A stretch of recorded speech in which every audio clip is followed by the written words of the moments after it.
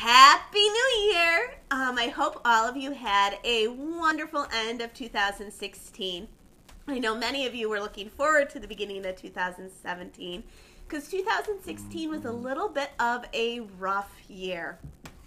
So I thought it would be fun as we're looking forward into the new year to take a little bit of a look at what might be coming our way.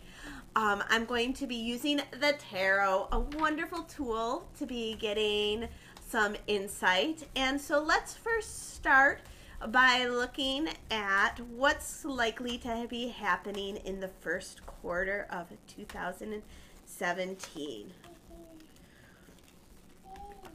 Well, it looks like uh, this is incredibly encouraging. The first card that pops up is the Temperance card. The Temperance card is all about balance. It has the Archangel Michael featured on it. So this is showing that our world that has been thrown upside down is finally going to be finding some balance, some equality, some sense of uh, pieces. You'll hear my little munchkin in the background. Uh, she has wants to add her two cents, it seems, as well. Um, but this is incredibly encouraging because it is a major arcana card, so there's going to be some big shifts. Um, I in the United States is which where I'm going to be looking at this. Um, this is encouraging because we do have some big events. We have the inauguration coming January 20th um, of our president elect um, and the new president, Trump, which has caused a lot of upheavals and a lot of dissension and a rift in the country. I'm encouraged by seeing that this there will be a balance and this will be strong. What the challenge is going to be is that movement forward. There's going to be this victory, but at the same point, as we're charging forward, not everybody's going to like the direction we're going in. Intuitively, I do feel as though this is going to be more on an international level where we are going to be seeing some rifts in our political um, atmosphere with our allies as well as our enemies and our foes. Oh, are you giving me some tea? What is the uh, advice for the country and for each of you because you'll be seeing this both on a national level, but you'll also be seeing this in your own life. You'll be finding yourself finding getting balanced, but not everybody liking where you're going. And not everybody singing your praises. What the advice is for the country as well as for each one of you in your daily lives is to go against tradition break the status quo, do things a little bit different. If you've always handled a situation in a particular manner and it's worked for you, chances are it's not going to be working for you in the first quarter of the year. Do something, shake it up a little bit. This is a new era, this is a new beginning. So do have fun with it and see where else you might be able to go. Again, it's encouraging because it's another major arcana card. Major Arcana is where the hand of God is stepping in and helping each one of us do something a little bit different, put opportunities in our um, path. It is the serendipities that occur in our lives. So that is the first quarter of 2017. A lot of the same, a lot of difference, um, but it, balance will be struck let's take a shift. Does anybody have any questions? Anybody watching live have questions about any of that? And no questions?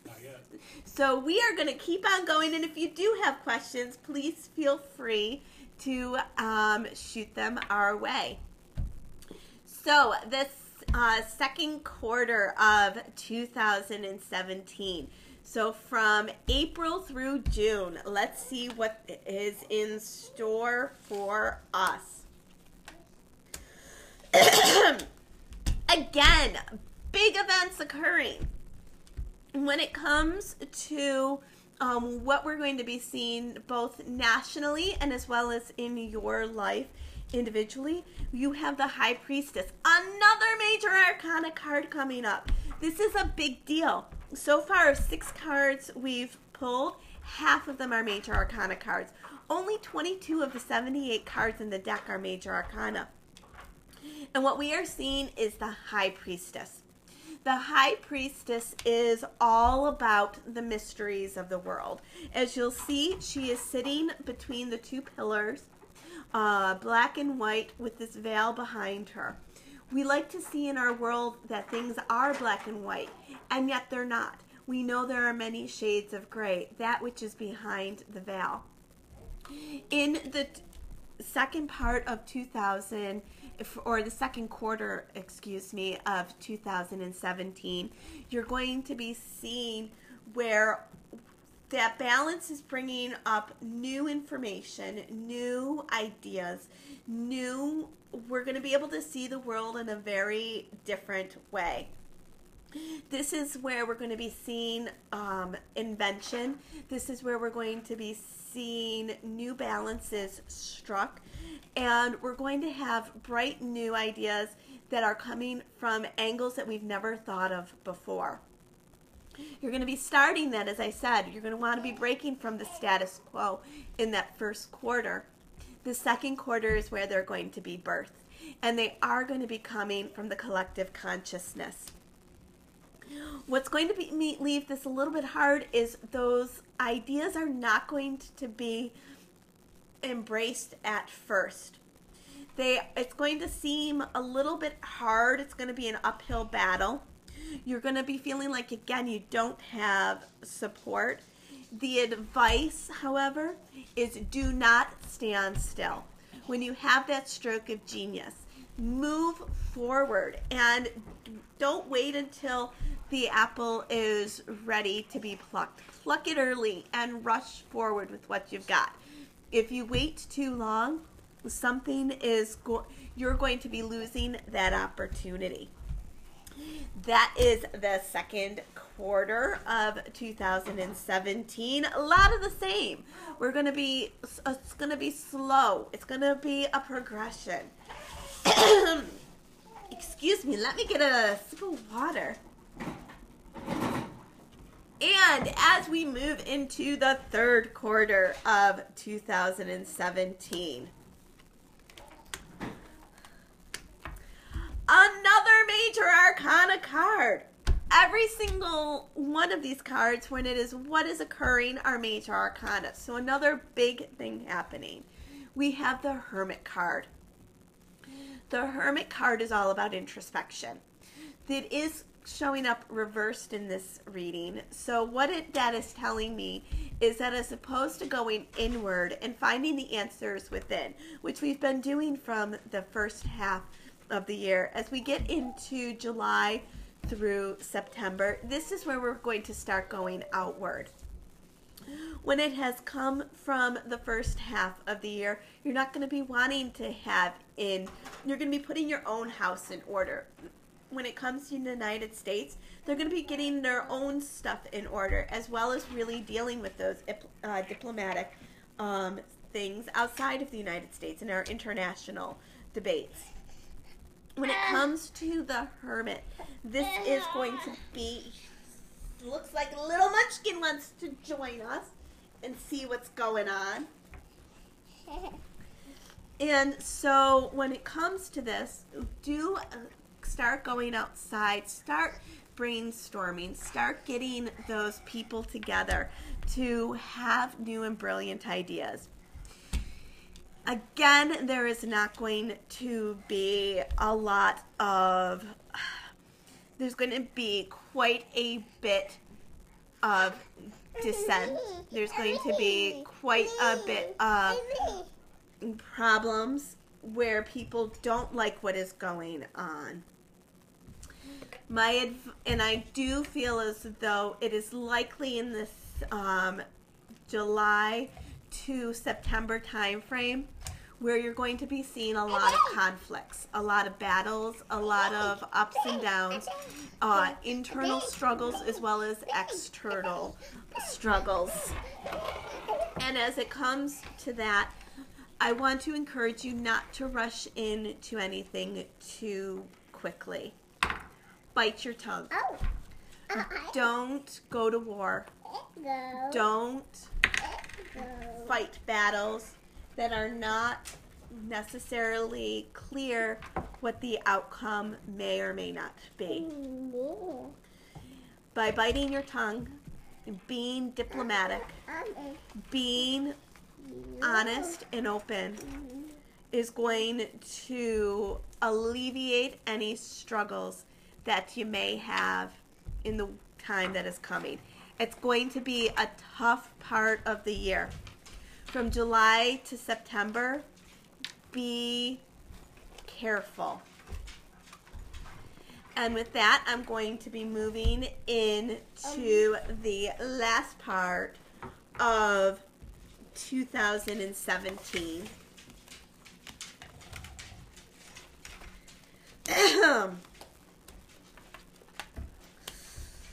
and in the last part of 2017, it's going to be a time for standing your ground. There's going to be some unexpected occurrences. Things that come from the outside that we can't imagine in your life, nationally. The one thing I encourage you to do is to continue to work hard. Pay attention to all of the details. Don't dismiss what is being said. Listen to what people have to say. Listen to the advice that comes from all sources. Don't be proud. Don't be arrogant. And don't be ignorant. Listen to everything that are coming from all different types of sources. When it comes to the to the end of 2017, well, it's going to be tough. Is from what it's looking from our time, our toughness. That is when we learn the biggest lessons. The tower card for me is always a scary card, or at least it used to be when it would come up in a reading, because this means big earth shattering change. However, as I have matured as a tarot re- card reader, I've matured as an adult, what I have learned about the tower card is it is that aha moment. It is that strike of brilliance. It is that time when you look at something, you look at the situation, and everything becomes crystal clear to you. And I do feel as though we're finally going to have that when it comes to the end of 2017. We're going to be finding the balance, setting the foundation for the beginning of 2017. As we get to the end of 2017, that is when, if we pay attention to details, if we all pay attention and swallow our pride, we will have the opportunity to change the way we see the world. And 2018 is going to be brilliant. Lots of lessons to be learned in 2017. I'm going to pull a bonus card, and if anybody has questions, please feel free to shoot them my way. And I love this card. The outcome card for 2017 is we are going to be stronger than yesterday. I hear Cher singing in my ear. Um, if I didn't have a cold, I would be singing myself. Um, but the end of 2017, we are going to find ourselves stronger. We're going to find a strength that we have not had in the past. What is also amazing about this is that strength is going to come from not aggression, but from understanding, compassion, and the feminine side of strength and love. And that is what I have forecasted for 2017.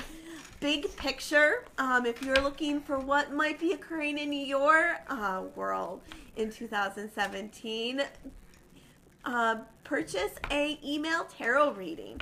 Get an astrological spread for your 2017 and those that are in queue don't worry you'll be getting them later today or early tomorrow. Many blessings. Happy new year. I wholeheartedly and am excited about 2017 as we strike balance and we have those aha moments and we continue to grow as a species. Lots of love. Talk to you again soon.